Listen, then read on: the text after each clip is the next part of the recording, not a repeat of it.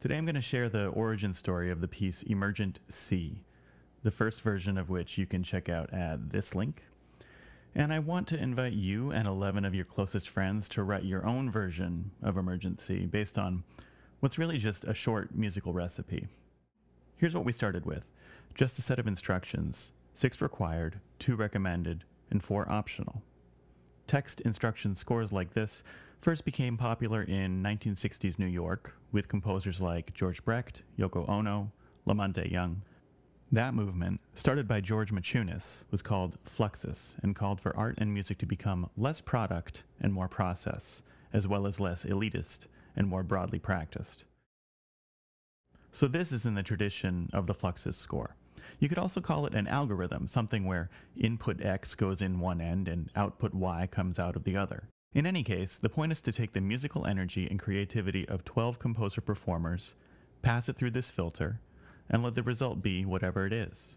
So for the remainder of this video, I'll talk a bit about each of the 12 instructions and how 12 TDO musicians, myself and 11 others from around the US, how we interpreted them. I encourage you to interpret them however you see fit.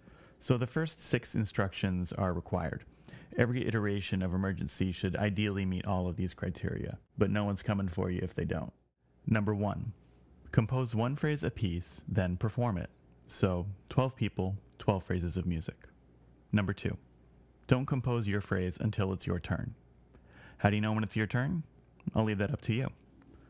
What we did was go in alphabetical order by last name and composed the piece horizontally. This is one kind of temporal displacement. We aren't composing collaboratively exactly.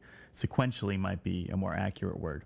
We're each writing one twelfth of the piece at different times, or temporally displaced. Number three, call the first phrase 12 and use all 12 pitches. So whomever goes first, they get to write a chunk of music that must use all 12 tones. This was the phrase I got to write, and I tried to make it as clangingly dissonant as possible but maybe you want to do something completely different. That's part of the beauty of it.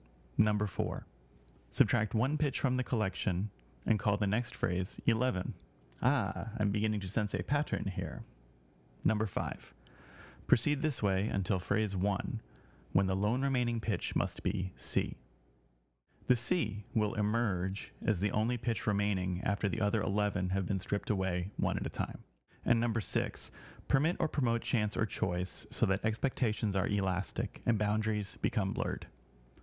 This direction was inspired by TDO's first project, In C Dorian, which is a piece by Frank Ticheli that asks players to choose when to go on to different phrases of music, much like the piece It was inspired by the 1964 classic In C by Terry Riley.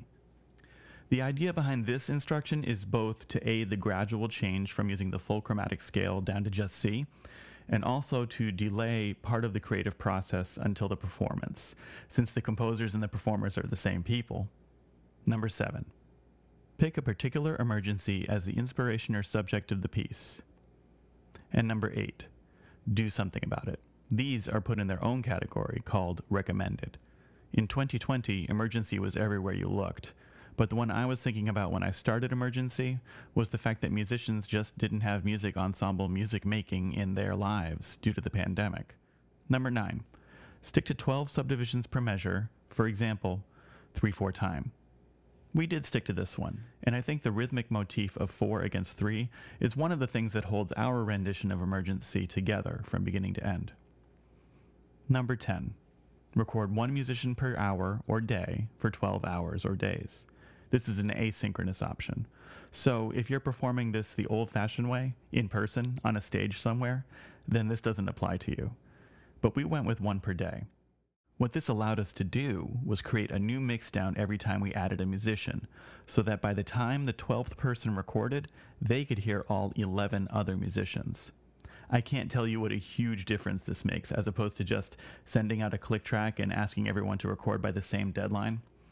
Actually, I can tell you because that's what we did for our first draft of this project, and it wasn't great. Using the daily mixdowns really makes it a lot closer to a legit ensemble experience. Number 11. Use a 12 tone row to predetermine the sequence of pitch eliminations.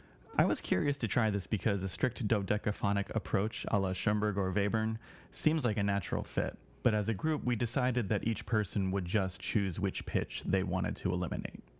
Number 12.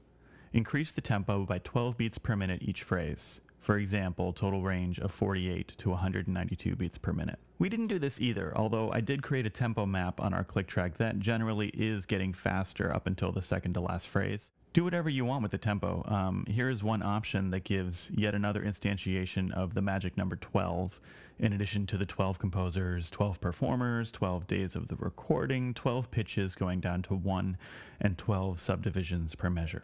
Again, you can download the PDF at the link below.